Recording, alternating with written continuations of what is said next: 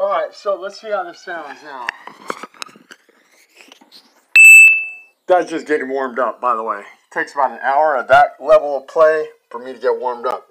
Then I can start fighting.